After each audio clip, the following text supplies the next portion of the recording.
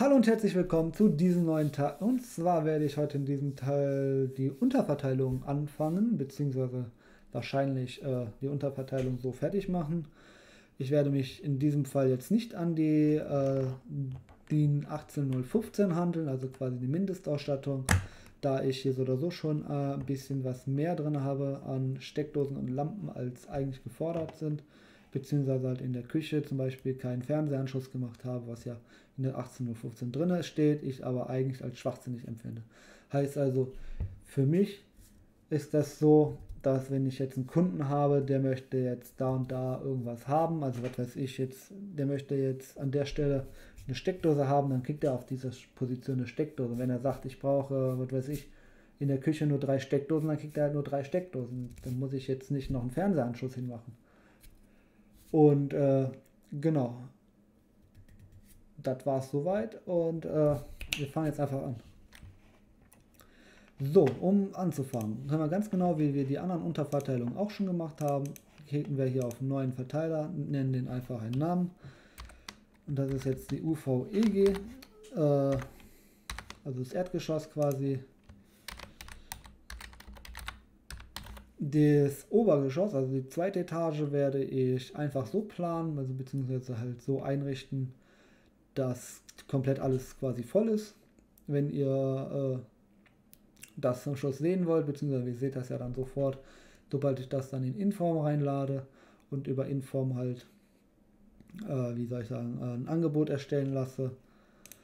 Genau, und jetzt äh, klicken wir hier auf unsere Verteilung. Dadurch, dass ich in diesem Fall jetzt, wie gesagt, nicht nach äh, VDE 0, äh, also 18015 an, äh, arbeiten möchte, werde ich hier auch äh, eine andere Verteilung nehmen. Und zwar werde ich hier einen, einen Zählerschrank benutzen. Okay, klingt jetzt erstmal äh, so, als wäre das überteuert, weil der Zählerschrank ist ja ein teurer als ein Feldverteiler oder eine Kleinverteilung. Allerdings muss ich ja so oder so eine vierreihige äh, Unterverteilung haben. Und in diesem Fall, also zumindest in der unteren Etage, also im Erdgeschoss, möchte ich mein äh, möchte ich noch die Steckdose für die Daten, also Verkabelung haben, also quasi meinen äh, Router und äh, ich sag mal noch eine Festplatte und was weiß ich nicht was reintun. Heißt also, ich brauche etwas mehr Platz. Das heißt also, ich nehme einen Zählerschrank ZVRH trocken mit einstöckig drei Felder. Drei Felder dürften eigentlich reichen. Kann dann hier aussuchen, welchen ich haben möchte. Dadurch, dass die 1250er ja nur noch verwendet werden dürfen, nehme ich auch an 1250er, weil ich denke mal, dass die billiger sein werden als die kleineren davon. Genau, kann dann hier auf OK gehen. Kann dann hier auch direkt quasi zeichnen. So groß wird meine Unterverteilung hier sein. Im Verhältnis zu dem Raum ist das natürlich viel. Wir gehen auf 0,2 von davon weg, also 20 cm sollten auf jeden Fall reichen. Können uns das Ganze jetzt wie immer in 3D mal schnell angucken, wie das aussieht. So sieht jetzt meine Unterverteilung hier aus. Wir können die kurz rendern. Sollte auf jeden Fall reichen. Wie gesagt, sind jetzt drei Felder drin. Ich werde wahrscheinlich ein Feld nur für die Sicherungen gebrauchen und dann eventuell zwei, aber das kann ich ja später noch ändern. Wenn ich nur einen zweifeldrigen brauche, werde ich das noch ändern zum zweifeldrigen. Aber so in etwa äh, sieht das dann später aus. Gehe hier in meine Unterverteilung rein, sage dann äh, Stromkreis einmal neu bitte. Und zwar habe ich eine Einspeisung mit Absicherung äh, mit 40 Ampere. Müssen wir noch mal kurz gucken, aber ich meine, es waren 40 Ampere. Wir klicken einfach mal auf Hinzufügen. Äh, genau, TNS-Netz ist richtig. Können hier auch mal schließen. Gehen hier auf den anderen Verteiler. Klicken erstmal auf OK und speichern. Äh, genau, und zwar müssen wir in den Zählerschrank reingehen. Und genau, ich habe 40 Ampere Abgänge gemacht. Das heißt also, ich werde jetzt auch wieder 40 Ampere Zuleitung machen müssen. Klicke auf OK. Ja, ich möchte zeichnen. So, und jetzt können wir hier quasi äh, anfangen. Und zwar müssten wir hier einmal auf neu machen. Und zwar brauchen wir hier genauso wie hinten auch einen Überspannungsschutz. äh, äh, nicht, doch in, äh, Überspannungsschutz hier. Und zwar, wir können entweder sagen, wir nehmen den hier als generellen, finde ich nicht so schön. Wir nehmen hier vorne den 4 plus 1 mit 63 Ampere. Klicken hier auf Hinzufügen. Als nächstes brauchen wir dann äh, ja, äh, FIs, beziehungsweise ich werde die äh, FILS-Schalter benutzen. Äh, müssen wir kurz suchen, wo haben wir sie? FILS, ähm, FILS. Also quasi den hier mit 16 Ampere ist in Ordnung. Kann jetzt hier sagen, dass ich den RCBO mit 30 mA haben möchte. Kann dann auf OK klicken. Äh, kann dann hier rein theoretisch schon auf Schließen gehen. Allerdings habe ich ja noch meinen Herd. Mein Herd braucht einen äh, dreipoligen Anschluss mit 5 Adern und mit 32 Ampere. Kann dann also auf Hinzufügen gehen und äh, ab dann quasi mein Herd jetzt auch schon mit drin. Äh, kann den natürlich jetzt da drüber nehmen, also quasi einmal getauscht. Genau, habe ich auch schon. Äh, jetzt sehen wir schon, dass es 1, 2, 4, 3 ist.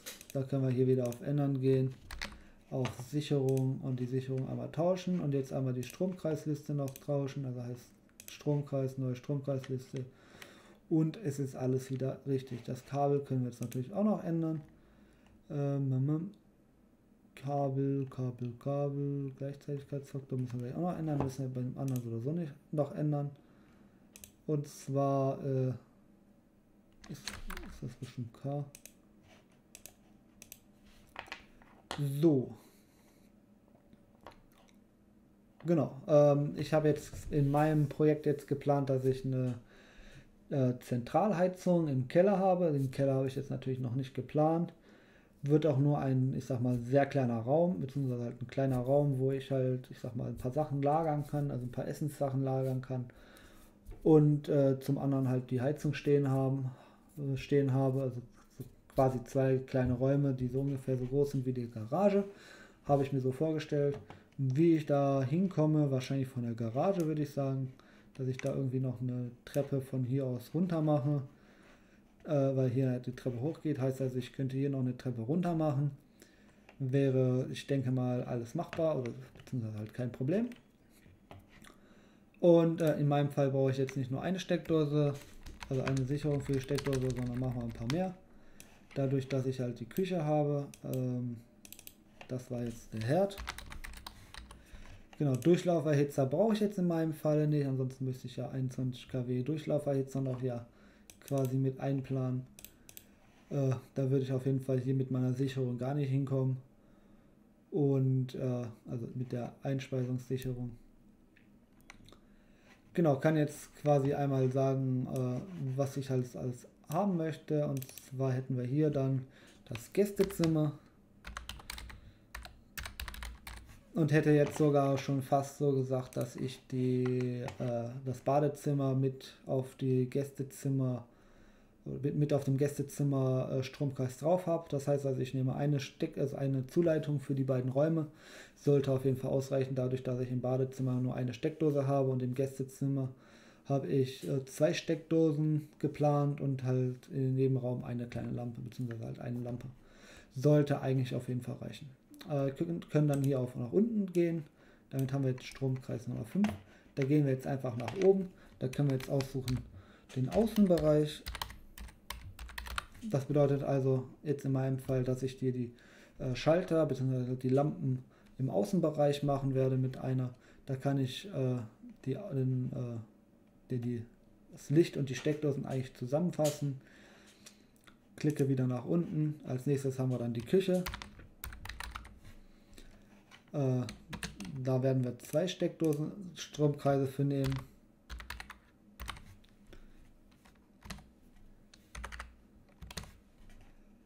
Ähm, als nächstes äh, hätten wir dann hier die, äh, das Esszimmer, also Essen. Dann haben wir noch das Wohnzimmer.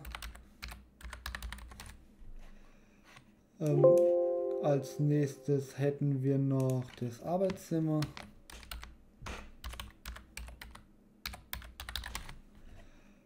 Ähm, eine Toilette haben wir hier unten auch noch. Toilette und den Flur nehmen wir auch zusammen. Plus Flur. Im Flur ist ja nur eine Lampe drin. Ähm, können wir noch noch? Ja, das wäre es eigentlich, ne? Wir gucken jetzt nochmal schnell, ob wir jetzt alles haben. Schiebe ich mal so ein bisschen hier hin. Also, wir hätten... Ach, stimmt, den Hobby. Hobby brauchen wir noch.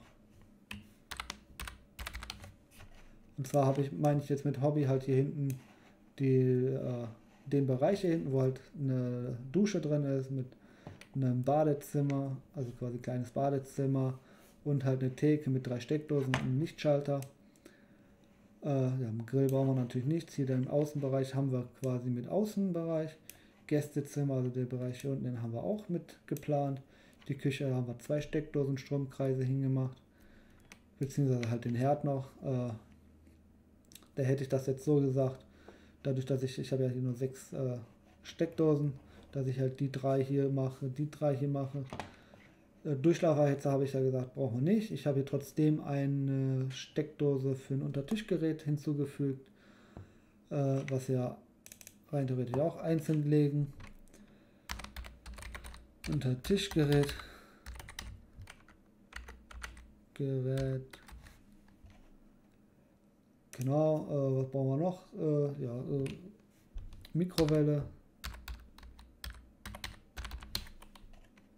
Mikrowelle und äh, Kühlschrank nehmen wir auch mal auf den eigenen. Äh, okay. Okay. So, und somit hätten wir jetzt quasi alle Kabel für den unteren Bereich jetzt in meinem Fall fertig. Wir könnten jetzt natürlich jetzt die ganze Verkabelung direkt machen. Äh, das werde ich aber offline machen. Also quasi ihr werdet das nicht zuschauen, beziehungsweise ihr werdet das eventuell im Zeitraffer sehen. Werde ich mal schauen, was ich mache. Äh, wie die Kabel verlegt werden, habe ich in einem anderen Video bereits gesagt. Ähm, das, was wir jetzt noch für die Unterverteilung hier brauchen, ist halt hier Projektmanager die 502 haben wir ja auch schon für den Zähler, also heißt, das ist jetzt die 503. Können wir auf Öffnen gehen, gehen hier nochmal hin und können dann auch direkt ändern. Und zwar ist das die UVEG. Können dann hier auch auf OK gehen. Äh, können das Projektmanager wurde verändert. Änderungen speichern. Ja klar, speichern.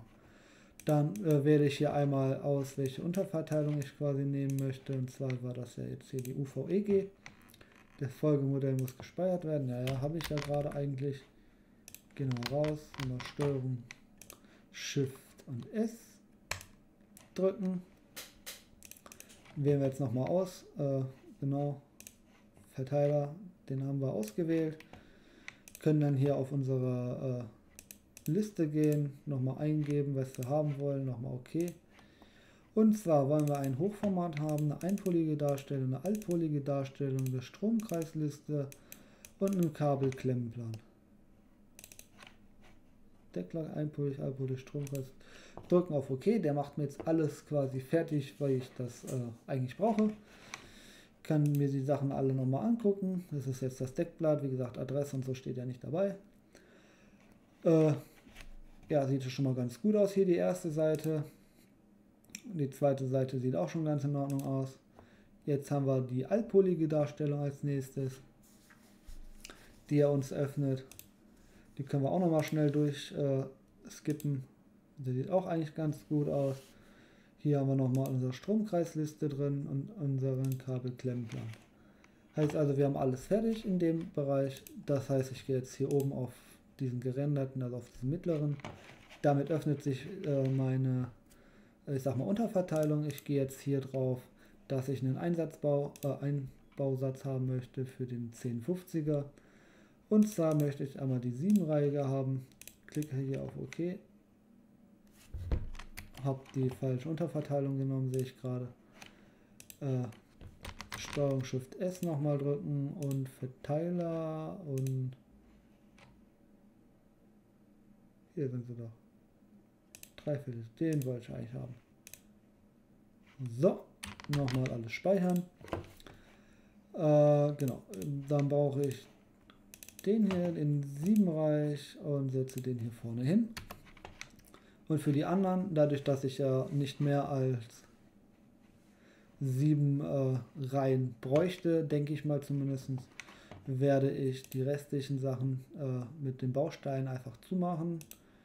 Leer Gehäuse, nee, äh, äh, äh warum war Einbausatz? Ähm, Einbausatz, ist das hier der?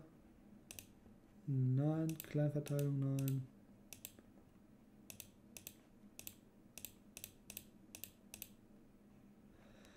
Ah, warum waren denn denn? Tragschienen, Reiterspannung, nein, Leistungsschalter, nein.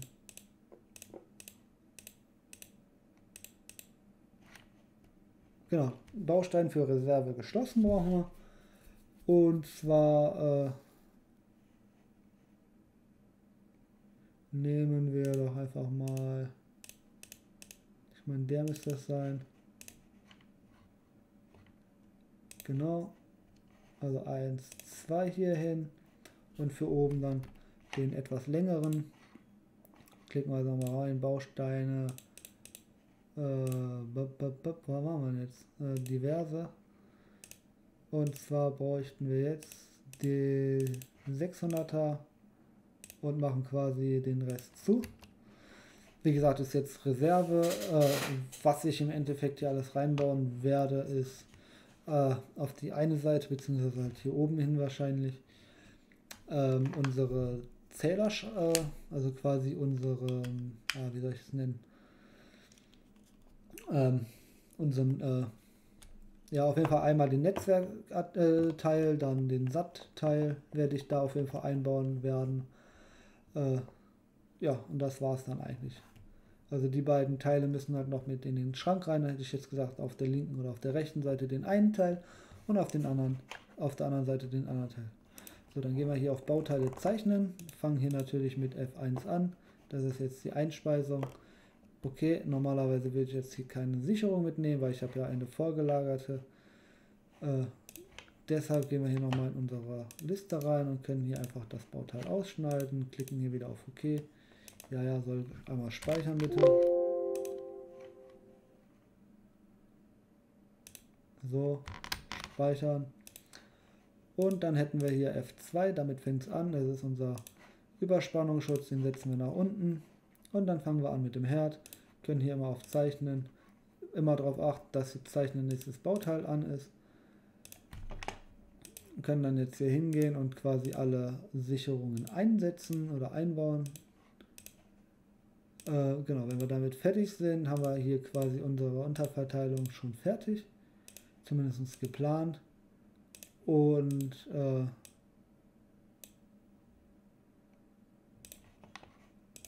was wir jetzt noch machen könnten, ist äh, eine Steckdose hier quasi einbauen für unseren äh, für den Bereich. Das heißt also, wir gehen hier auf Bauteil zeichnen, gehen hier auf, wo haben wir sie? Äh, diverse Bauteile müsste das sein.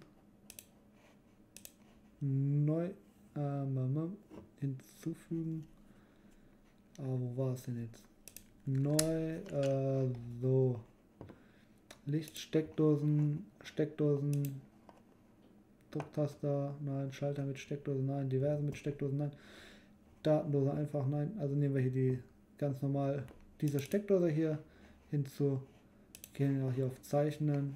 Okay, hat jetzt kein, kein Bauteilname, aber nur damit wir halt wissen, dass wir hier was hinzufügen können. Die Steckdose wird jetzt natürlich in unserer Stückliste mit übernommen. Ähm, ja, was wir natürlich auch machen könnten, es sind jetzt noch mal ein paar Sicherungen dazu, wenn wir jetzt noch welche als Reserve da einfügen möchten oder Generatoren oder äh, Schütze oder ein Relais hinzufügen, Motor, Messgerät oder Zähler, wenn wir noch einen zweiten oder noch, halt noch einen Zähler halt da drinne brauchen, der halt kein äh, Elektro, also kein geeichter sein soll, sondern hier, was weiß ich, so ein ganz normaler, äh, okay, wo haben wir sie? Messgerät. Ähm, ähm, ähm. Drehzahlmesser, nein. Nein, Tür nicht. Meldeeinrichtung, nein. Ja, gibt halt nur die.